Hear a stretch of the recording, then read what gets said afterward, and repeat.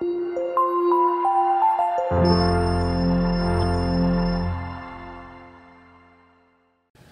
this is Warren from OutdoorBoiler.com, your outdoor boiler experts. If you're looking for insulated PEX, it's kind of boring.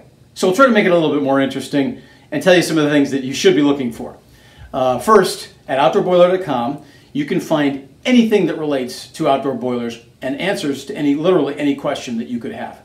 We've helped more than 10,000 homeowners like you stay toasty, warm, and comfortable for decades. So we've got all the industry standards that we've prepared. We've got operations guides, checklists, uh, installation manuals. We do free design services for you there. Uh, and uh, just about any part or supply that you can imagine. Also, our water treatment is the best in the industry. Uh, we help people protect their boilers. We do free water testing so you know you're properly tested.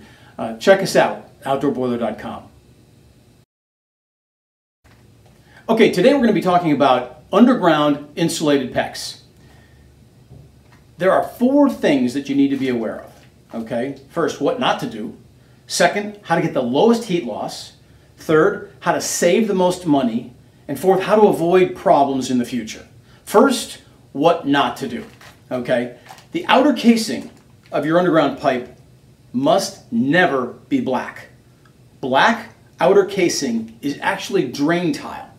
Drain tile is not manufactured to be waterproof. This outer casing needs to be waterproof because you need this to stay dry on the inside of your underground pipe forever. It needs to be forever waterproof. Drain tile is not waterproof. It's designed to draw water away from places, and so if there's pinhole leaks in it periodically, it doesn't matter.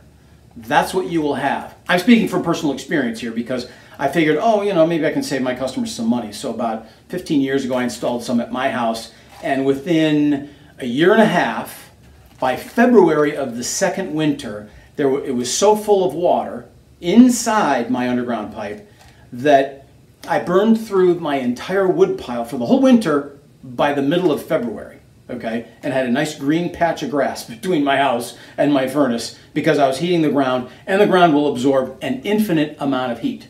Never buy black drain tile, okay? Only white. That's number one.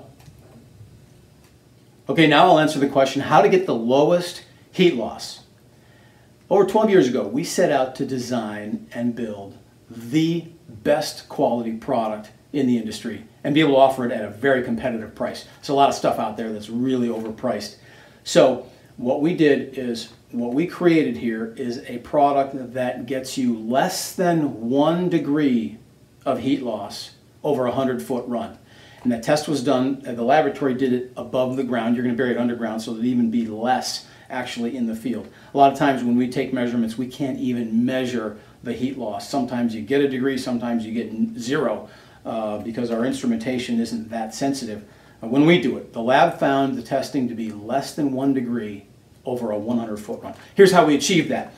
Uh, got the proper thickness, outer casing, forever waterproof. Notice that it's white, okay? The proper thickness, not too thick so that it's too inflexible, but thick enough so that it's safe.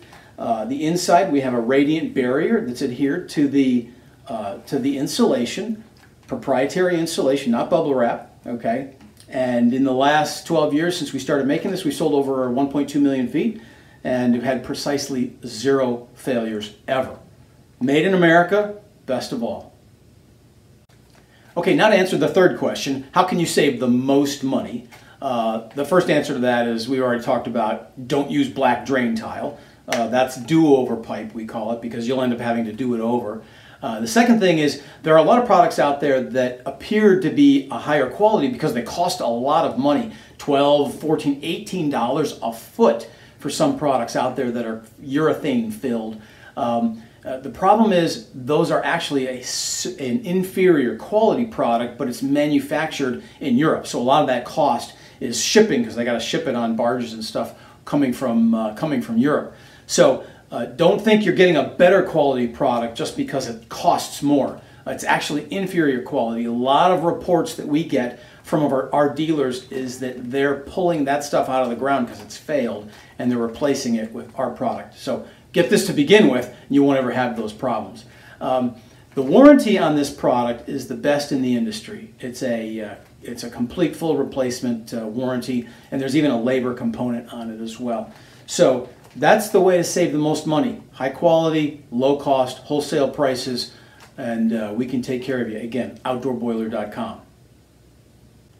Okay, finally, answering the fourth question, how to avoid future problems. We're going to talk about three quick things. Number one, how deep should you bury your underground pipe?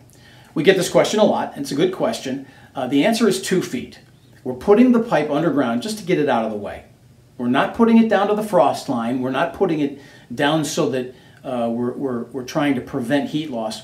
The pipe already is so well insulated, we don't need to go any deeper than is necessary. So we go down two feet deep because a lot of places have codes that require the electric line to be buried at least two feet deep. And, and so since you're going to put your electric line in the same trench as the underground pipe, uh, go down two feet. That's the standard that we, uh, that we recommend. Second, um, we always recommend that you use an end cap because don't be like the guy who his pump, where he installed his pump at the back of his furnace, all right, he had a leaky fitting. And water just dripped down the PEX tubing into his underground pipe until the underground pipe was completely full. So you put this end cap on the end and any water that might come down will just shed off.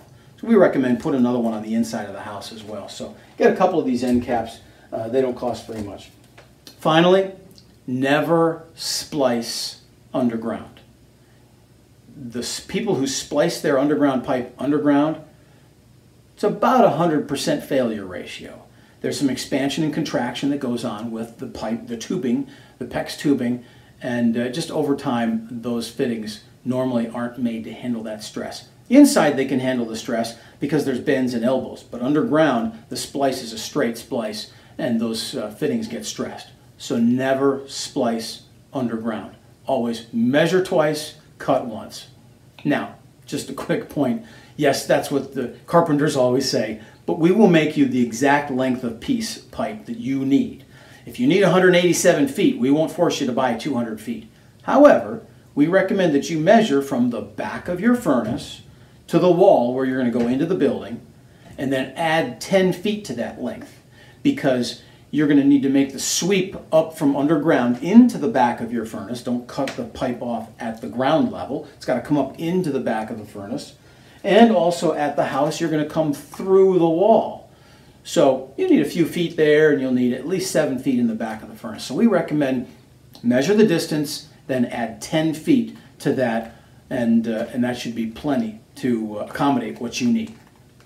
Okay, now you know everything you need to know about outdoor boiler, underground insulated PEX. Hopefully we've made this a little bit more interesting for you and, uh, and a little bit enjoyable. So uh, let us know whatever we can do for you. Uh, give us a call at the number on the screen or reach out to us at outdoorboiler.com. Also, you should know that as a pipe customer, if you get your pipe from us, you're eligible for free design services. Designing the outdoor boiler installation is a very important thing. We'll provide customized drawings and set it up for you completely so that your underground pipe installation, or your entire outdoor boiler installation is done properly. Uh, there's two very important things to think about there. Not spending too much money on the parts and supplies is very important, and we're all about saving money uh, at outdoorboiler.com. But also you want to have a system that's set up so that it provides you the proper amount of heat uh, for decades. Uh, so let us know what we can do for you. Uh, our goal is to help you stay toasty, warm, and comfortable for decades. So we look forward to hearing from you.